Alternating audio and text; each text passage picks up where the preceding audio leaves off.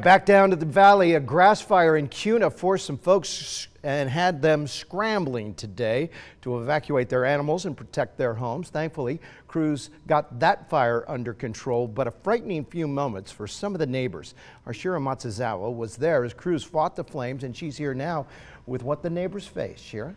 Mark, thankfully no one was hurt and the neighbors only suffered minor injuries, but one man tells me he's extremely grateful to the fire crews who got on scene quickly and his fire break. Some people in Kuna came home to find this. A grass fire burning off Kuna Mora and South Vista. I could see the flames and smoke from Interstate 84 10 miles away, so I knew it was a bad fire. One of those folks was Jeffrey Rowe, who owns 360 acres in the area. When you're getting a call from six neighbors at the same time almost, you know it's a pretty bad fire. I was just worried about my house and the animals and I have cows in the back property. Crews blocked off the roads as they attacked the 329 acre fire from the air and on the ground Thursday morning. Here's my trailer parking. This is not good. Jeffrey shot this home video as flames inched close to RVs stored on his property.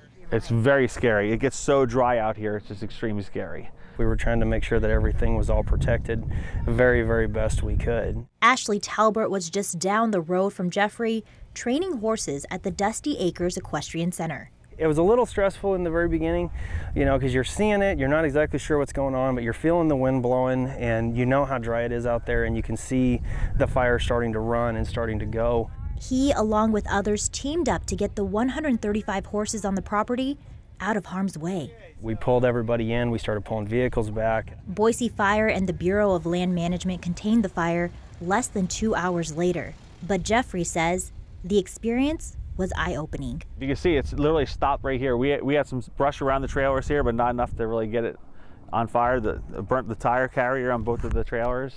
Besides that, it literally stopped where my fire break was. If I didn't have this fire line here and it would have gotten into my property, it could have made it all the way to my house and burned down my house and everything. So the hours and hours I spent making the fire trail and it paid off. We all banded together and that makes it so much better out here. Here we are still standing ready to go for another day. BLM is still investigating the cause of this fire. As for Jeffrey, he says he's now going to double his fire break. Mark?